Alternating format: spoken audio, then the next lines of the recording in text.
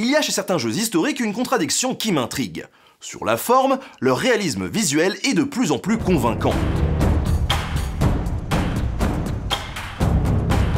Mais sur le fond, il devient de plus en plus difficile de démêler le vrai du faux historique. Ton tour viendra, Robespierre Plongé dans des décors saisissants de précision et de détails, j'ai davantage tendance à croire que ce qui se passe là, dans ce jeu, c'est ce qui s'est vraiment passé.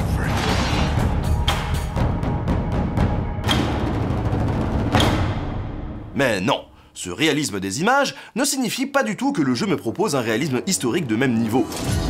Vouloir reconstituer le passé, je pense que c'est complètement illusoire. C'est Umberto Eco qui a inventé le concept d'hyper-réalité en fait. hein. Plus on dit qu'on va faire du réalisme, plus en fait c'est faux. hein. L'hyper vrai mène forcément à l'hyper faux.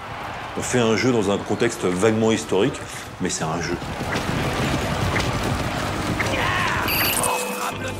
La saga Assassin's Creed fait cas d'école dans le genre. Depuis 10 ans que la franchise existe, chaque nouvel épisode sonne l'ouverture de la chasse aux approximations historiques. Les gamers, les internautes, les journalistes, les historiens et même les politiques épluchent les jeux et pointent les entorses techniques ou idéologiques faites à la petite et à la grande histoire. Dans Syndicate, on découvre un Londres peuplé uniquement de blancs et sans prostituées, alors qu'en réalité, en 1869, l'Empire britannique faisait de sa capitale un vrai mélange ethnique réputé pour ses filles de joie. Dans Unity, on voit des poignées de porte alors qu'elles n'avaient pas encore été inventées à l'époque, tout comme les plaques des noms de rues, totalement anachroniques d'ailleurs. Alors, que répond Ubisoft? On n'a pas la prétention de faire des jeux euh, à vocation scientifique ou historique et on n'a pas non plus pour vocation euh, d'enseigner l'histoire. Par contre, l'histoire avec un grand H, euh, on l'a défini comme étant le terrain de jeu de notre franchise. Une série d'actions-aventures qui se sert de l'histoire comme un décor.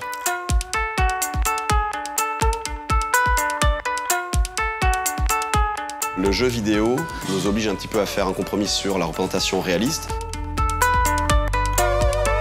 On ne s'intéresse pas à faire une photocopie de la réalité. Ce qu'on veut, c'est s'inspirer de la réalité, la représenter euh, au travers euh, d'émotions et offrir aux joueurs un environnement qui soit divertissant et intéressant.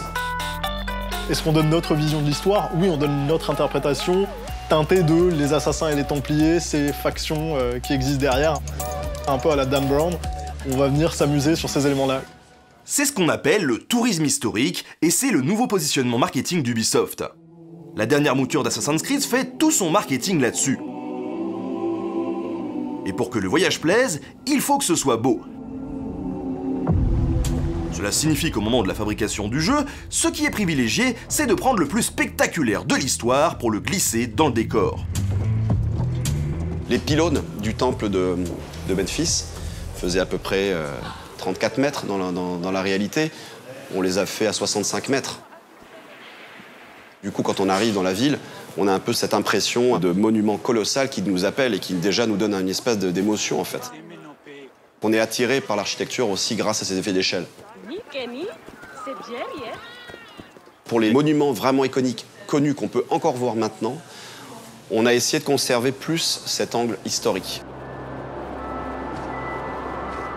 Par contre, pour ce qui n'est plus, là, on s'est permis de jouer un peu plus sur la fantaisie, sur euh, l'aspect mystique, pour faire un peu plus rêver. Ici, on assume donc sans difficulté de s'autoriser quelques libertés avec l'histoire.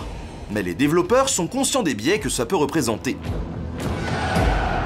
C'est sûr qu'on a une responsabilité quand on représente euh, ces personnages historiques.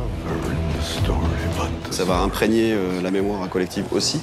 Et oui, car le risque c'est que les joueurs gobent absolument tout et n'importe quoi en pensant que c'est la vraie histoire. C'est ce qui a été reproché à Ubisoft quand le studio s'est un peu trop lâché sur l'épisode de la série qui avait pour décor la Révolution française. Dans cette ville, tous les hommes ne naissent pas égaux. En 2014, Jean-Luc Mélenchon avait bruyamment accusé Assassin's Creed de caricaturer Robespierre. Il s'appuyait sur une des bandes annonces du jeu, assez manichéenne, il faut bien l'avouer. Families torn apart by Robespierre's reign.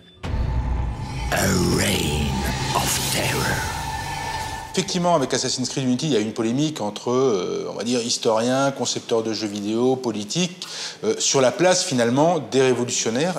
Dans Unity, on a plutôt tendance à les situer du côté des, des méchants. Ça a énervé certains politiques, je pense à raison. Georges Danton, héros de la Révolution, en route pour la guillotine. La seule erreur de Danton a été de se mettre un homme appelé Maximilien Robespierre, le père de la terreur. Donnez-moi ça Les amis de Danton ont fait publier un article décrivant Robespierre comme un dictateur assoiffé de sang. La vérité blesse. Chez les historiens, euh, je rappelle qu'il y a beaucoup de débats. Et euh, finalement, bah, un jeu vidéo a pu susciter des discussions autour de cette révolution qui finalement, euh, euh, on n'a pas épuisé le sujet. Les débats, peu importe le retour euh, qu'on a, moi je trouve ça génial. C'est euh, c'est ce qui nous amuse le plus parce que ça nous permet nous aussi d'échanger, d'engager avec la communauté, puis de voir que, que c'est des jeux qui, qui vont au-delà du jeu. Ça, ça suscite quand même euh, un engouement, des passions, euh, des réactions fortes, et euh, je trouve que c'est super positif. Et ce qui est amusant dans cette polémique autour de Assassin's Creed Unity, c'est que paradoxalement, elle a pu avoir un impact positif sur l'image du jeu vidéo. C'est un moment qui l'a anobli, qui a dit on peut se prendre la tête sur un bouquin, on peut se prendre la tête sur un documentaire, et ben il n'y a pas de raison qu'on puisse pas aussi se prendre la tête entre historiens sur le jeu vidéo. Ils ont dit le jeu vidéo est aussi un terrain assez noble en tout cas pour venir y mener ce genre de bataille. Je pense que ça n'a pas été une mauvaise chose en soi. Alors, bilan de l'affaire, est-ce qu'il faut continuer à créer des jeux qui seront imparfaits d'un point de vue historique? Nonsense! It is my name and reputation you have willfully besmirched, sir. My Au risque d'embrouiller des millions de joueurs. Et si on demandait son avis à un des historiens qui a été consultant extérieur sur Assassin's Creed? On rencontre des gens de différentes catégories sociales et certains, parfois, qui sont pas allés à l'université et qui n'ont pas eu de cours d'histoire très poussés. Et certains sont venus me voir en me disant Hey, j'ai joué à Assassin's Creed Unity, faut que tu vois les vitraux de la Sainte-Chapelle. Le gars est jamais allé à Paris. Il sait même pas ce que c'est que la Sainte-Chapelle. Il l'a vu. Et là, il m'a dit C'est quoi la Sainte-Chapelle Et ça crée un besoin de connaissance. Eh, quand même, ça crée un besoin de connaissance.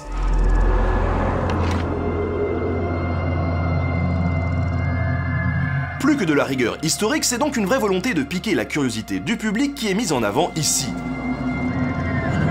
Libre à chacun de poursuivre ensuite l'aventure dans des ouvrages à sa disposition pour démêler le vrai du faux.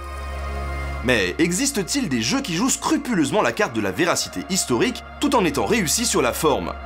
Eh bien, il est possible que j'ai un exemple en tête, mais on en parlera dans un prochain épisode.